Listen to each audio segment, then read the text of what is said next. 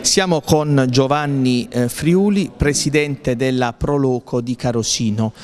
La sagra del vino di Carosino appunto rappresenta ormai una realtà storica consolidata, festeggia le eh, nozze d'oro. Siamo infatti alla cinquantesima edizione. Le novità rispetto al passato, come la si sta eh, strutturando e il messaggio attuale che si vuole lanciare. Allora, eh, sì, mh, mm, rappresenta questa Sagra del Vino un momento importante perché siamo, arrivato, eh, siamo arrivati a mezza, è arrivata a mezzo secolo di vita, eh, quasi mia coetanea, quindi io sono nato, Siete nati insieme. sono nato con, con, la Sagra del Vino, quindi insomma rispecchia fedelmente la mia storia di, di carosinese.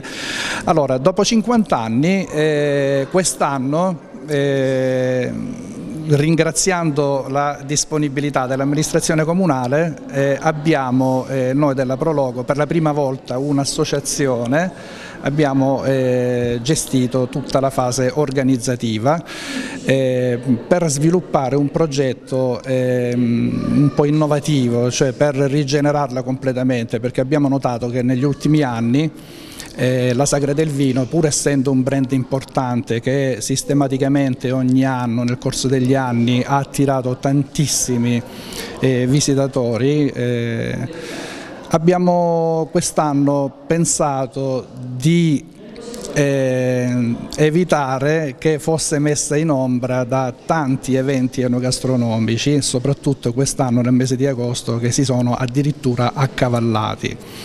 Per questo motivo abbiamo pensato di eh, svilupparla a settembre, un periodo in cui ci sembrava un po' anche più coerente no? rispetto alla vendemmia, cioè il momento in cui eh, inizia la raccolta del prodotto che la Sagra vuole no? eh, promuovere.